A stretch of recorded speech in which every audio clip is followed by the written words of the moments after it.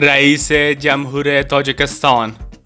تشکیل دولت افغانستان بدون حضور همه گروه ها اوضاع را بدتر می کند مذاکرات میان طالبان و جبهه مقاومت ملی افغانستان در تاجکستان برگزار می شود باشندگان پنج شیر شبکه های مخابراتی فعال شده اما نان برای خوردن نیست و قیمت ها بسیار بالا رفته است. مذاکره رو در رو آغاز شد و همچنان در پایان. دشمن دیرینه طالبان از خواب بیدار شد. به نام خداوند بخشاینده و مهربان و با تقدیم سلام به یکی از دیگر از ویدیوهای کانال جنجال انفو خوش آمدید. لطفا تا آخری ویدیو با ما باشید. رئیس جمهور تاجکستان یک بار دیگر گفت که تشکیل دولت افغانستان بدون حضور همه گروه ها اوضاع را در این کشور بدتر می کند.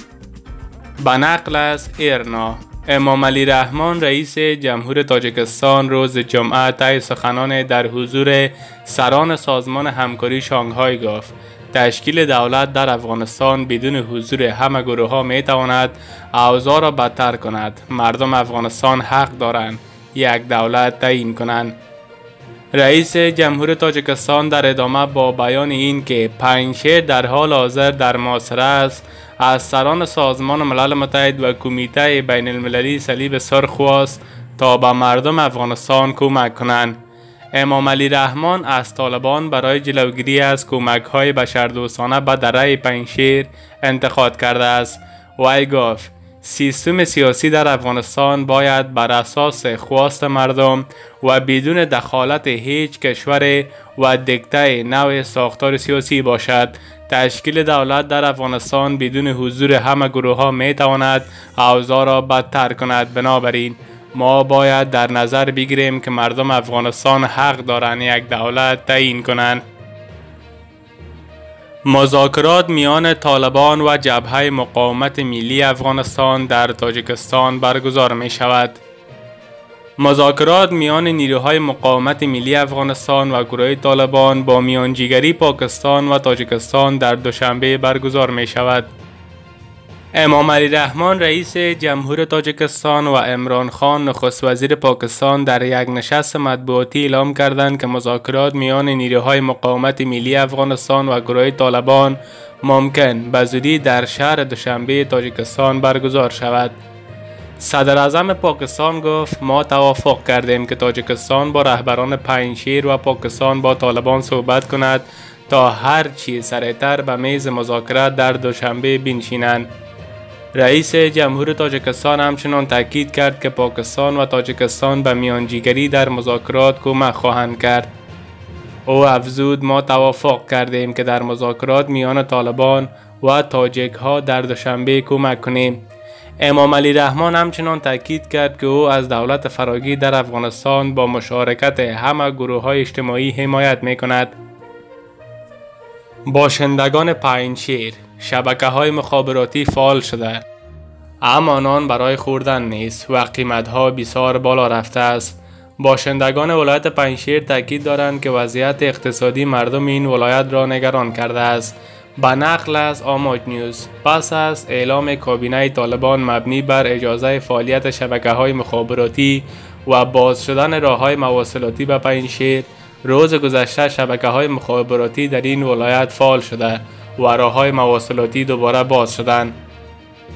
موبین آقا باشنده ولسوالی آبشار ولایت پنشیر در گفتگو با آماج نیوز می‌گوید که اینترنت روز گذشته در این ولایت به گونه توجی فعال شده است اما سرعتشان خیلی پایین است با گفته او وضعیت اقتصادی مردم خیلی نگران کننده است نان برای خوردن نیست و قیمت ها بسیار بالا رفته است در همین حال چندین باشنده دیگر پنشیر با آموج نیوز می‌گویند که بیشتر مردم این ولایت بر اثر جنگ ها آنجا را ترک کرده و راهی کابل شده و یا هم به کوه پناه بردن در نتیجه جنگ میان جبهه مقاومت و نیروهای طالبان در پنشیر شمار از خانواده ها مجبور شدند که خانه های خود را ترک کنند. پیشینه کشاکش تاجکستان با طالبان روابط تاجکستان با طالبان هیچگاه دوستانه نبوده است.